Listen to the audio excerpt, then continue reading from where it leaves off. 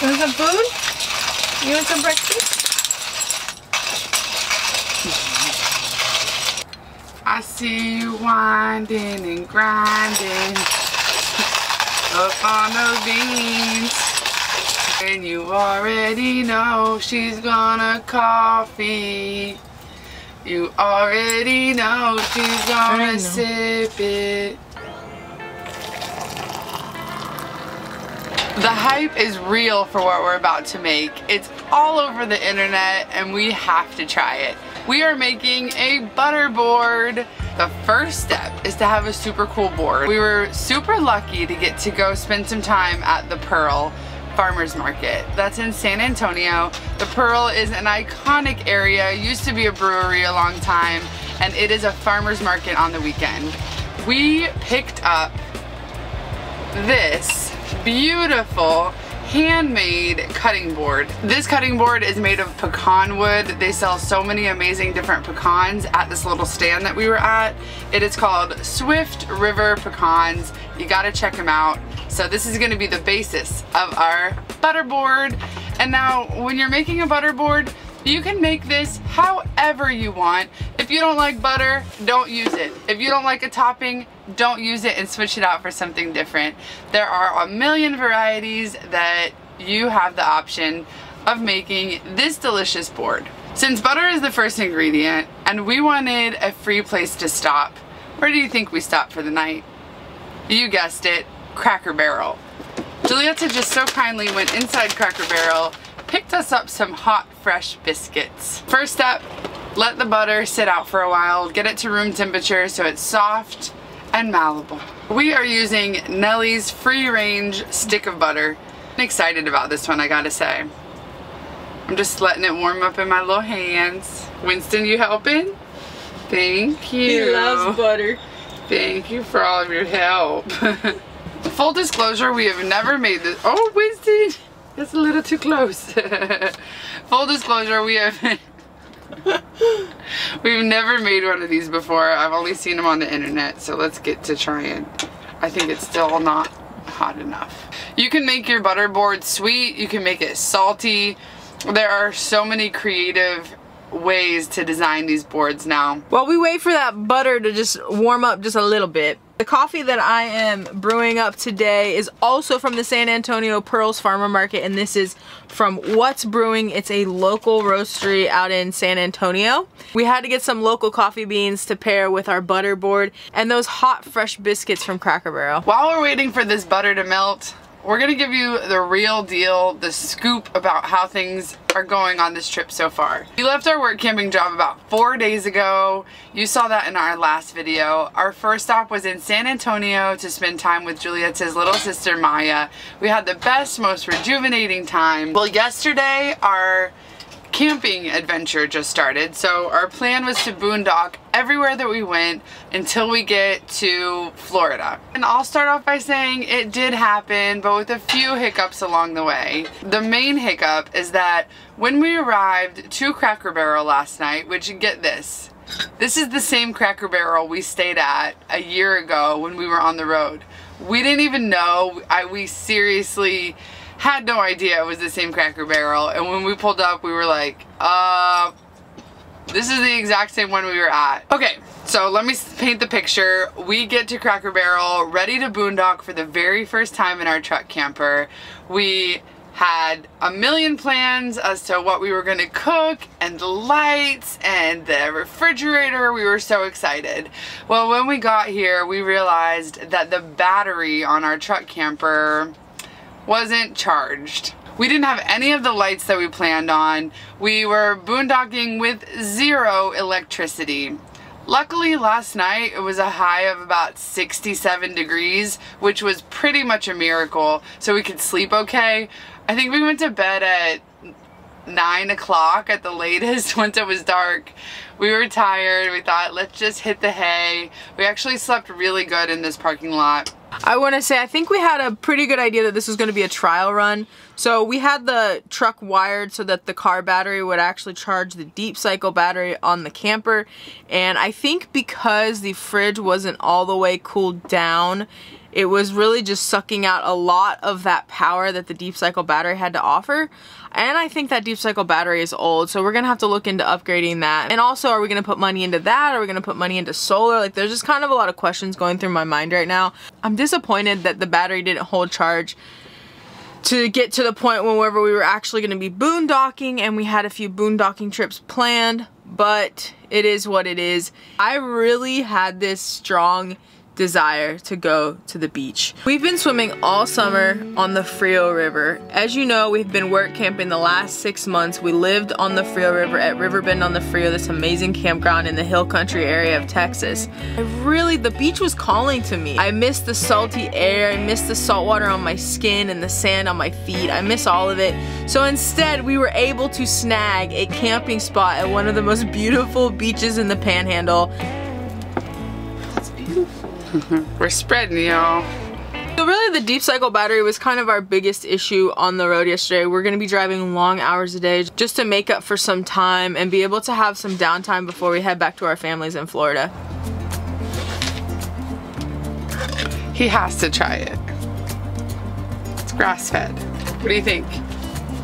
He likes it! when I've seen these butter boards made by other people, they're really big. I'm talking four whole sticks of butter. And for ours, a little butter is going a long way. This is probably a quarter stick of butter. So we, we're gonna spread that thin, make it beautiful, and get to topping it. On today's butter board, our first ingredient is fresh, beautiful, juicy blueberries. Next up, walnut halves and pieces. This is gonna add a really nice crunch to it. We have some dried sweet cranberries we're gonna add. I went in the grocery store yesterday and when Giulietta was unpacking some of the groceries in our camper, I was like, where did you put the milk? And she said, I didn't see the milk. Where's the milk, guys? We couldn't find our almond milk anywhere. And then she said, well, you didn't get cereal anyway. I said, yes, I did where's the cereal? So I went back in the store and the cashier said, well, I put everything in your bag. I don't know what happened to it. And I, I went and looked in the car again. No milk or cereal to be found. Or these cranberries weren't there. Went back into the grocery store for a second time, talked to the manager. They watched the overhead cameras, saw that the cashier was totally right. She packed the groceries, put them in the bag, and I left them there on the conveyor. They were so nice and let me go back inside and get the groceries that I left. But success story, y'all. Cranberries on top. These add a really beautiful bright color. This is a perfect sweet butter board for fall time and for winter time. So you can do it savory. Originally we were gonna do a savory board and we had most of the stuff ready, but we really just wanted to have breakfast at Cracker Barrel, be able to buy some biscuits, make our coffee. You can do a butter board with an array of different ingredients, and this is not gonna be the last time you're gonna see a butter board on this channel. Uh, who loves biscuits? We love biscuits. I'm so hungry. What goes better with a butter board than buttery biscuits? Hungry. And we have our coffee. You guys like my new vintage mug I got? I got this from a little craft store that sold like all kinds of vintage stuff too.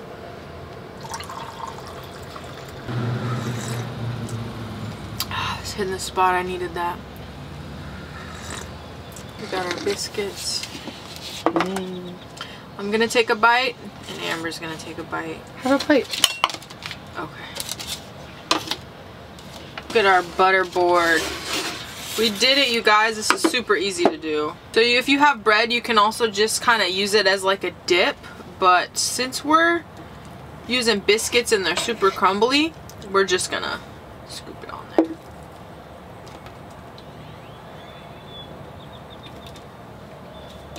Mm.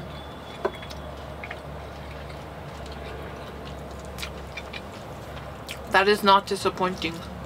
That's delicious. I know you want some.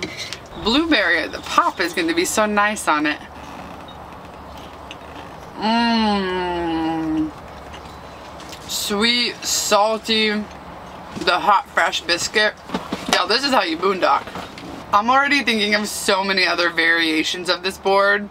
If you were to use peanut butter as the base or even hummus, any kind of stickier spread that would be a good base to add so many delicious toppings to. There's Winston in case you're wondering where he is. He made his way right in. Um, sometimes whenever we show up and we've been driving all day, we're a little bit burnt out. Sometimes it's a little unsettling whenever you get to these areas. You want to make sure you're safe, obviously. And once we had some time to just kind of relax, accept the fact that the deep cycle battery wasn't working, transfer all of our stuff from our fridge in here into our 12 volt cooler that we have. We have our 2000 watt Akmo power bank with us as well. So that's coming through and it hasn't even made a dent in the power of the power bank. So that's really cool. I mentioned that we actually stayed at this Cracker Barrel last time serendipitously. What was different about last time and this time is that the first time we camped here, there were three or four other campers boondocking in the parking lot this time, zero. So it feels a little bit different and less normal when you're the only people out here boondocking in the Cracker Barrel parking lot. We knew that we were allowed though, we called first. That's true and it is early October in Louisiana so it is still a little bit warm and it was pretty hot when we were first starting to go to bed at 9 p.m. but by about midnight it really did cool down a lot. We had all the windows open and our vents open so we were nice and cool throughout the night. When you're first trying to go to bed and it's hot and we usually keep the AC pumping in here, so we like it to be pretty nice and cold.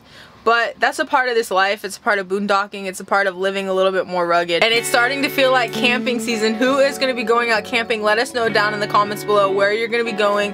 What's your preferred way of camping? Tent, camper, pool behind, what you got? Yeah, this is absolutely amazing. I got my mouth full right now.